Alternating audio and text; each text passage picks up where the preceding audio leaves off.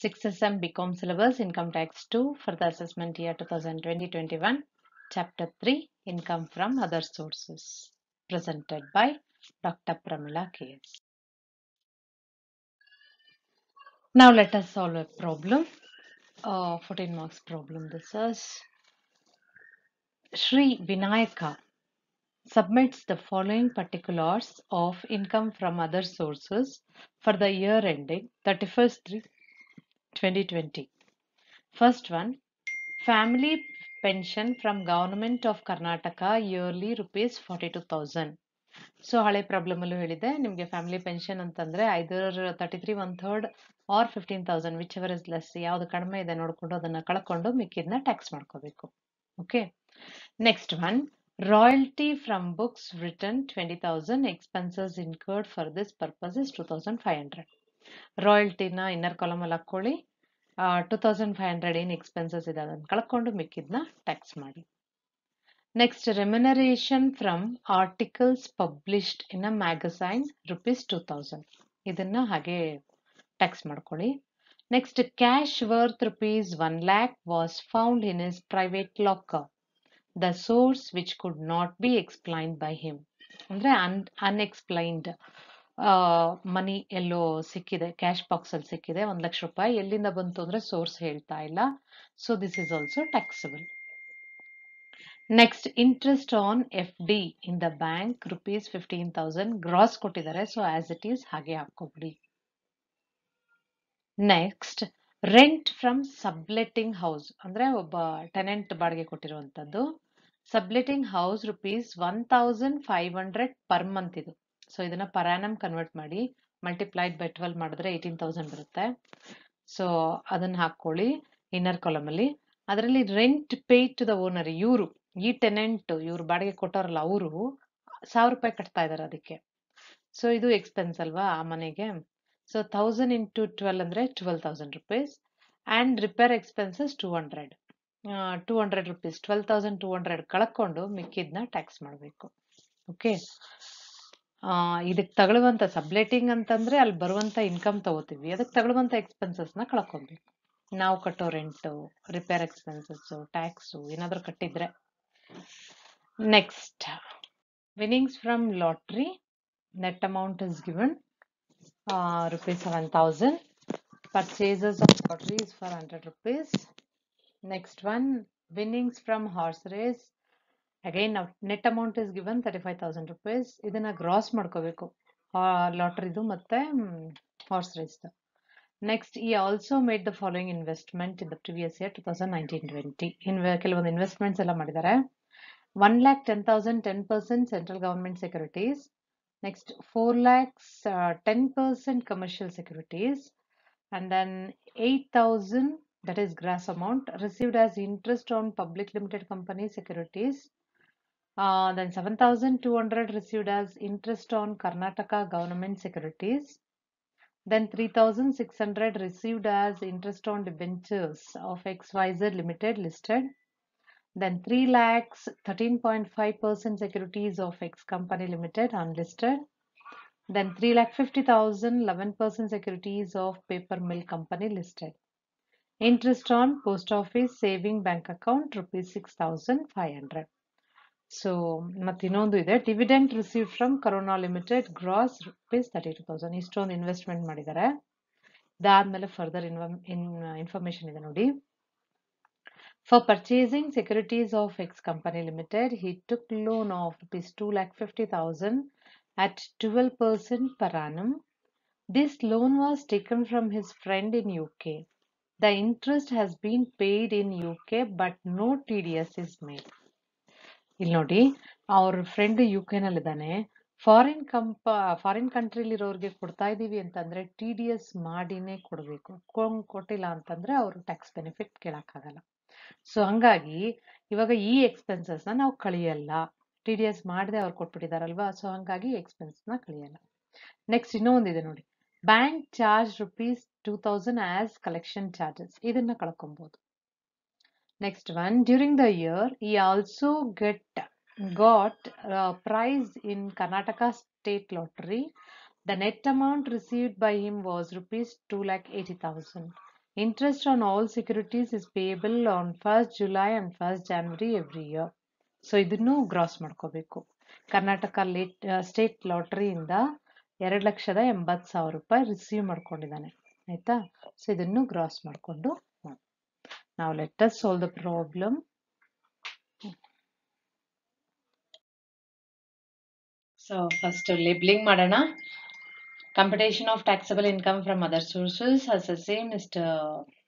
Sri Vinayaka. Status resident previous year 2019-20. First one family pension. Rupees forty two thousand ಇದೆ. ನೋಡಿ ಇದರಲ್ಲಿ rule ಏನು ಹೇಳುತ್ತೆ ಅಂದ್ರೆ either one third of the pension or fifteen thousand which ever ಲೆಸ್ನ ಕಳ್ಕೋಬೇಕು.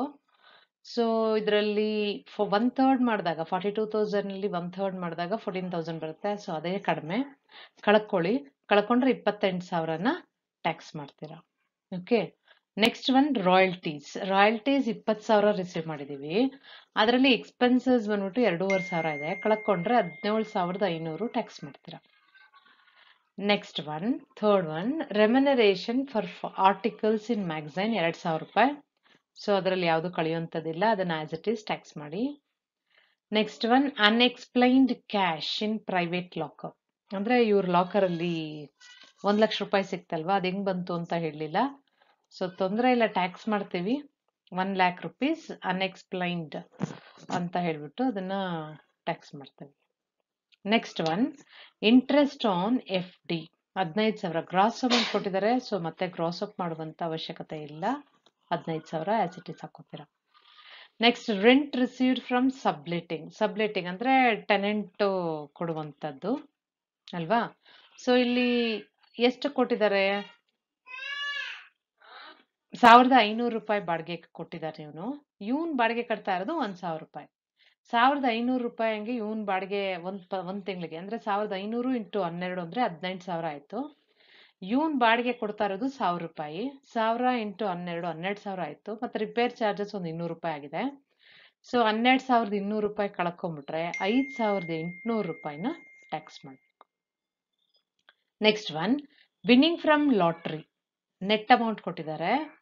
So ಎಪ್ಪತ್ತು ಸಾವಿರ ಇದೆ. ಗ್ರಾಸ್ ಮಾಡಿದ್ರೆ ಒಂದು ಲಕ್ಷ ಆಯ್ತು. ಓಕೆ ಸೊ ಒನ್ ಲ್ಯಾಕ್ ಅಲ್ಲಿ ಗ್ರಾಸ್ ಮಾಡೋದು ಈಗಾಗಲೇ ಸುಮಾರು ಪ್ರಾಬ್ಲಮ್ ಅಲ್ಲಿ ಹೇಳಿದೀವಿ ಅಲ್ವಾ? So T D S amount ಎಷ್ಟಾಗಿರುತ್ತೆ ಅಂದ್ರೆ ತರ್ಟಿ ಪರ್ಸೆಂಟ್ ಆಗಿರುತ್ತೆ. So seventy percent seventy thousand ಇರುತ್ತೆ. So seventy thousand divided by seventy multiplied by hundred ಮಾಡಿದ್ರೆ you get the gross amount next winning from horse race thirty five thousand ಇದು ಅಷ್ಟೇ net amount so casual income thirty percent T D S ಇರುತ್ತಲ್ವಾ so gross ಮಾಡಿದ್ರೆ ಐವತ್ತು ಸಾವಿರ ಬರುತ್ತೆ. Next problem continue ಆಗುತ್ತೆ. Central government securities interest that as one lakh ten thousand invest ಮಾಡಿದರೆ ಅದು ten percent rate of interest ಇದೆ. So eleven thousand rupees taxable ಮತ್ತೆ ಕಮರ್ಷಿಯಲ್ ಸೆಕ್ಯೂರಿಟೀಸ್ ಅಲ್ಲಿ ಫೋರ್ ಲ್ಯಾಕ್ ಇನ್ವೆಸ್ಟ್ ಮಾಡಿದರೆ ಟೆನ್ ಪರ್ಸೆಂಟ್ ಟ್ಯಾಕ್ಸ್ ರೇಟ್ ಇದೆ. So ಅದು I mean interest rate ten percent ಇದೆ. So forty thousand ಆಯ್ತು. So forty thousand as it is ಹಾಕೊಳ್ಳಿ.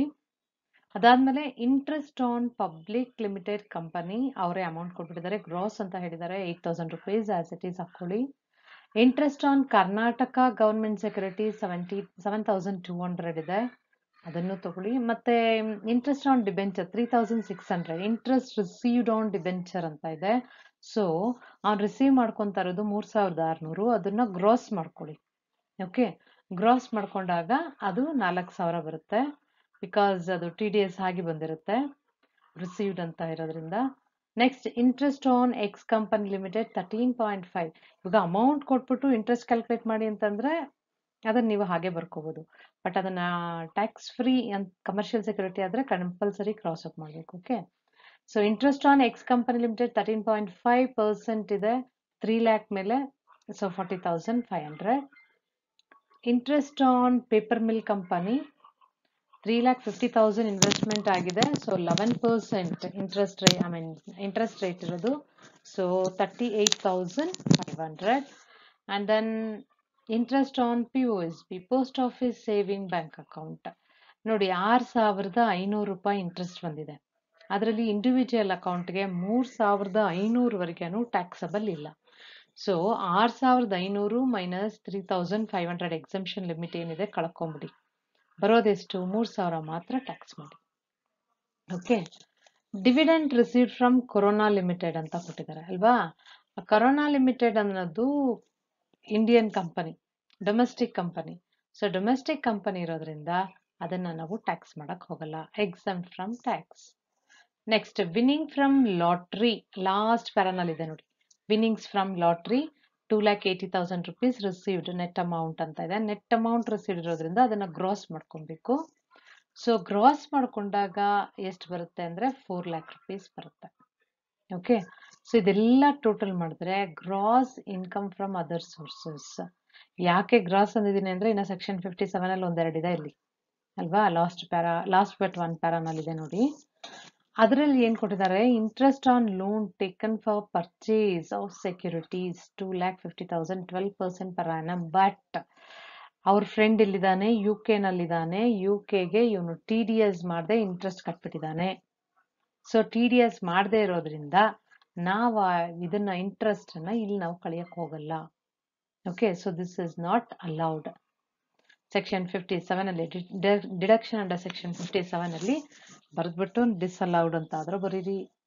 Dash ಆದ್ರೂ ಹಾಕ್ಬಿಡಿ. ಆಯ್ತಾ? ಬ್ಯಾಂಕ್ ಕಲೆಕ್ಷನ್ ಚಾರ್ಜಸ್ ಎರಡ್ ಸಾವಿರ ರೂಪಾಯಿ ತಗಲಿದೆ ಅದನ್ನ ಕೊಟ್ಬಿಡಿ. ಸೊ ಎರಡ್ ಸಾವಿರ ಮಾತ್ರ ಅಲೋ ಆಗಿದೆ. ಎರಡ್ ಸಾವಿರ ಕಳ್ಕೊಂಡ್ರೆ eight lakh sixty eight thousand five hundred rupees is taxable income from other sources okay so ಇದು ಸ್ವಲ್ಪ ಪ್ರಾಬ್ಲಮ್ ದೊಡ್ಡದಾಗಿದೆ fourteen mark problem okay next note ಇಲ್ಲಿ ನೋಡಿ purchase of lottery ticket is not deductible expenses because ಇದು casual income ಅಲ್ಲಿ ಬರುವಂತ ಯಾವ expenses ನಾವು ಕಳಿಯಕ್ ಹೋಗಲ್ಲ. ಓಕೆ ಸೊ ಸ್ವಲ್ಪ ಲೆಂತಿ ಪ್ರಾಬ್ಲಮ್ ಫೋರ್ಟೀನ್ ಮಾರ್ಕ್ಸ್ಗೆ ಈ ಥರ ಪ್ರಾಬ್ಲಮ್ಸ್ ಅನ್ನ ನೀವು ಎಕ್ಸ್ಪೆಕ್ಟ್ ಮಾಡ್ಬೋದು. ಅಂಡ್ ಈಸಿಯಾಗಿರುತ್ತೆ ಓಕೆ ಥ್ಯಾಂಕ್ ಯು